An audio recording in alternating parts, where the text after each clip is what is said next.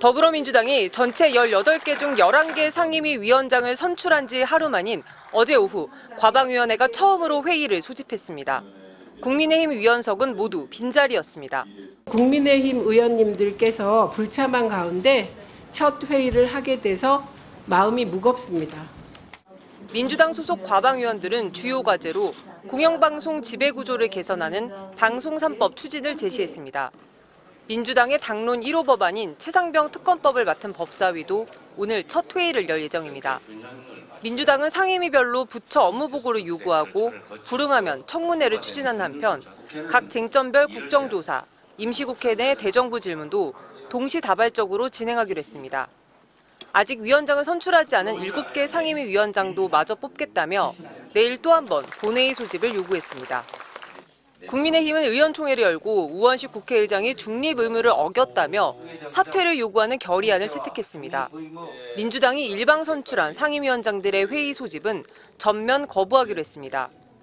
선출된 상임위, 상임위원장을 저희들은 인정하기 어렵다 하는 말씀을 드리고 거기서 진행되는 의사 일정에 관해서도 어, 전혀 어, 동참하거나 어, 협조할 수 없다는 점을. 하지만 당장 민생이 어려운 상황에서 막무가내로 국회 일정을 거부하다가 오히려 역풍이 불 거란 우려도 만만치 않습니다. 개각에 따른 인사청문회와 국정감사 등이 줄줄이 예정된 만큼 마냥 거부하는 것도 불가능합니다. 국민의힘은 상임위를 거부하는 대신 자체 정책특위 15개를 만들어 민생 현장을 점검한다는 방침입니다. MBC 뉴스 조재영입니다. 국회 법제사법위원장에 선출된 더불어민주당 정청래 의원이 손준성, 이정섭 검사 탄핵 심판과 관련해 국회 측 대리인을 교체할 방침인 것으로 전해졌습니다.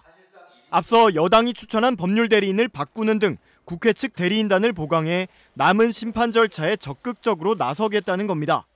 민주당 관계자는 지금까지 민주당이 추천한 변호사 한 명이 탄핵 심판을 도맡느라 엄청나게 고생했다며 앞으로는 법사위원장이 헌재 직접 출석하고 대리인단도 완전히 보강해 운영할 것이라고 밝힌 것으로 전해졌습니다. 정청래 법사위원장도 여당이 추천한 변호사를 바꿀 수 있다고 말했으며 이와 함께 대리인단 숫자도 대폭 늘릴 가능성도 거론되고 있습니다.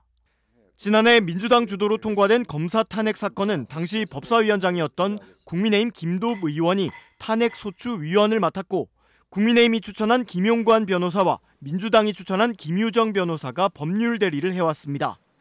그러나 민주당에서는 탄핵 사건에서 검사 역할을 해야 하는 전임 법사위원장 김도읍 의원이 그동안 헌재에 직접 가지도 않았고 국민의힘이 추천한 변호사 역시 탄핵 심판에 소극적이라는 비판이 나왔습니다.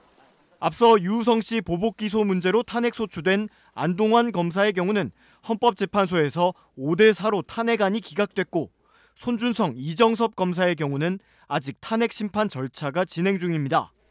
21대 국회에서 국회 과방위원장을 지낸 장재원 전 의원도 당시 방송 3법 개정안 본회의 직회부와 관련해 헌법 위반이라며 권한쟁의 심판을 청구한 사건에서 비슷한 조처를 했습니다. 여당에서도 전임 과방위원장이 선임한 법률 대리인단을 해임하고 대리인단을 새롭게 꾸렸던 전례가 있는 만큼 민주당은 이 같은 방안을 추진해도 여당이 문제 삼기 어려울 거라고 판단하는 것으로 알려졌습니다. 지금 국민의힘 의원님들께서 불참한 가운데 첫 회의를 하게 돼서 마음이 무겁습니다. 국민들께서는 우리 상임위가 원활하게 운영되어 어려운 국민의 삶의 질을 높이고 국가 경쟁력을 강화하는 데 이바지하기를 원하고 계십니다. 하루빨리 여야가 동참하여 위원회가 운영될 수 있기를 기대합니다. 22대 국회 가방이 첫 번째 회의부터 불참하고 있는 국민의힘에 실망을 금치 못하겠습니다. 그리고 윤석열 정권의 무능하고 무책임하고 폭력적인 R&D 예산 삭감은 연구 현장에 붕괴를 초래했습니다. 조변석계 하고 있는 과기 정책 때문에 대한민국의 미래 100년 대계가 무너져 내리고 있습니다. 국민께서 총선 심판으로 윤석열 대통령의 퇴행을 바꾸라고 명령하신 것이 아닙니까? 하지만 대통령을 방탄하기 위해서 국회 본연의 일마저 거부하는 국민의힘의 모습은 국민의 분노에 부채질만 더하고 있는 꼴입니다. 과방위는 일을 하는 상임위가 되어야 합니다. 특히 R&D 예산 삭감에 따른 인력 유출과 기술 격차 회복에는 수년이 걸릴지 수십 년이 걸릴지 알 수 없습니다. 윤석열 정권의 폭주 기차를 지금이라도 되돌려 세워야 합니다. 손바닥 뒤집듯이 예산을 삭감할 수 없도록 R&D 추경 등 긴급 수혈 자금이 투입될 수 있도록 국회가 직접 나서야 합니다. 어떻게 대통령 말 한마디에 R&D, R&D 예산이 삭감될 수 있었는지 그 과정에서 위법이나 불법한 사항들은 없었는지 살펴보아야 합니다. 일하지 않겠다는 국민의힘의 목리에 발목 잡힐 시간이 없습니다. 위원장님께서는 국민의힘이 회의에 불참하더라도 과방위는 국민이 총선 민의로 명령하신 본연의 책무를 신속하게 수행할 수 있도록 국회 법에, 국회 법에 명시된 회의가 이루어질 수 있도록 해주시길 부탁드립니다. 또한 국민의힘도 과방위 회의장으로 돌아오길 촉구합니다. 국민의 혈세로 세비를 받는 국회의원직이 부끄럽지 않은 책임 정치를 보여주시길 바랍니다. 감사합니다.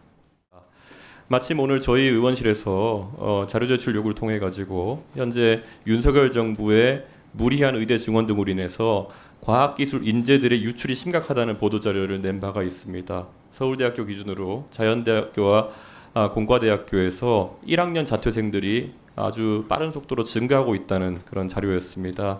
이런 것들이 지금 당장은 위험해 보이지 않지만은 향후 10년 뒤, 20년 뒤에 대한민국의 과학기술 경쟁력에 큰 저해 요소가 될 수 있다는 것을 저희가 인식하고 대책을 마련해야 된다 생각합니다. 그리고 과방위를 저희가 들어오기 전에 항상 외부에서 봤을 때는 언론 관계나 방송 문제 등으로 많은 갈등이 있는 것처럼 이렇게 보여졌습니다. 실제로 윤석열 정부 하에서 언론의 자유 침해가 심각하기 때문에 저희도 앞으로 이런 부분을 많이 다룰 수밖에 없을 것입니다.